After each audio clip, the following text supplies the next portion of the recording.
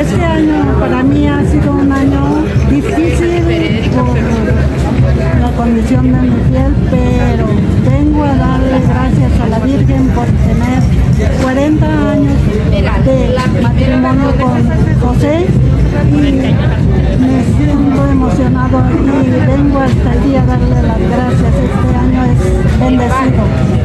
Para mí es